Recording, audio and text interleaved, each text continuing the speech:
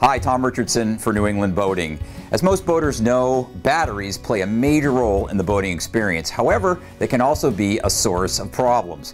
Fortunately, there's ways to head off headaches by performing a little routine, simple maintenance before launching your boat each season.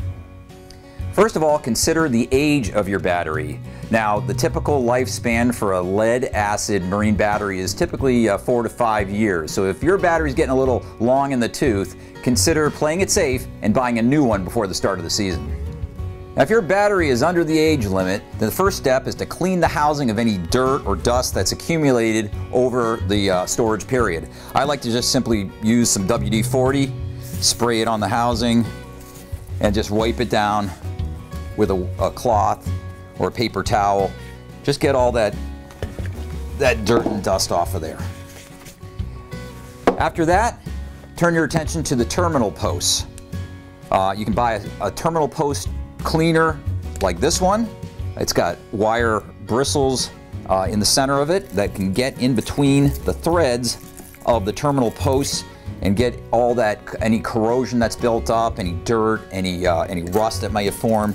Just simply twist it around on the terminal post, get all that stuff out of there. This one also happens to come with a, uh, a, stiff wire brush, and you can also use that to get in and get any corrosion off of those off of those terminal posts, get them nice and shiny for uh, um, ideal conductivity.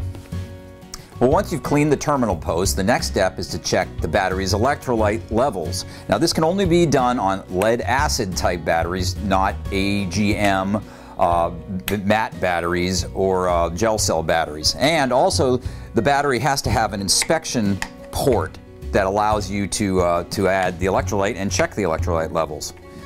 Now before you check the, uh, the electrolyte levels, make sure that you have a pair of safety glasses because you don't want any of that, that acid accidentally splashing up and hitting you in the, uh, hitting you in the eyes. Take a, uh, um, a screwdriver. Some of these uh, batteries have screw-off caps.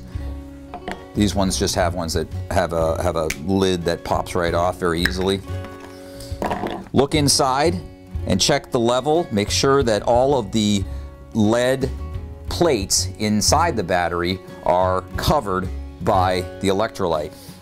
If you can see any of the uh, plates exposed or the water level looks low in one of the uh, areas, take some uh, distilled water, very important to use distilled water, not ordinary tap water, and simply add it to the ports to top off the levels.